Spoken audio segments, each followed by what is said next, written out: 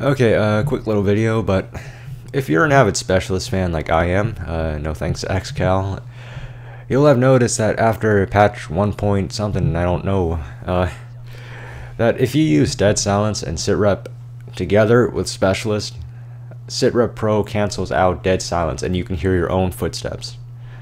And this was after pat the patch that they put out for like map pack support. I don't know what that patch was about, but part of me is hoping and praying that this is just a glitch on their part and that they messed up something because it's not surprising considering their track record of patching stuff like the model 1887 if you remember. They tried patching the range and they did but if you added FMJ and Akimbo together it was just like the pre-patch model 1887 and eh, it's not surprising that they messed up stuff but if god forbid this is actually an attempt to nerf specialists then I have to ask why would they do this First, I want to ask, who actually uses Specialist? Please tell me.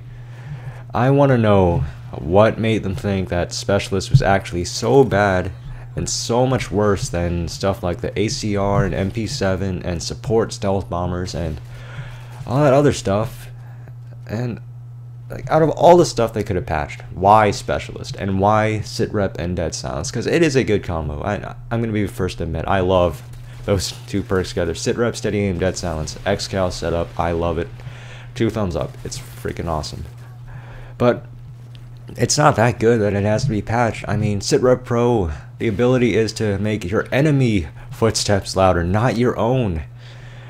Uh, and the sound system in this game is not even that good. I mean, the only way you can sound or is with Dead Silence and Sitrep together, because everything else just drowns out the footstep sounds if you have Sitrep Pro only, because...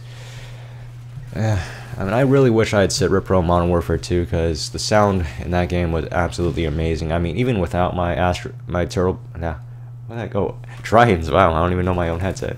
I mean, even with just the TV speakers, I could sound war people in Modern Warfare 2, and man, again, I'm not sure if this is an actual patch or if it's just a mistake on their part, but I'm praying that it is just a glitch or something that they'll fix it because uh, just I don't know. It's kind of it's kind of weird. I mean, it's so awesome having no footsteps at all and being able to hear other people. Because I mean, I said that assassin didn't really have a counter, but if they're not running dead silence, you can hear assassin no problem. And I mean, without it, it's just uh, I don't know. It's disappointing. It really is. So uh, you can I don't know if you know anything about this, please uh, leave a comment and maybe you can clear this up because as of now I'm not really happy and I really don't know what they're going where they're going with this. I hope they patch it soon and if they don't well it's not gonna help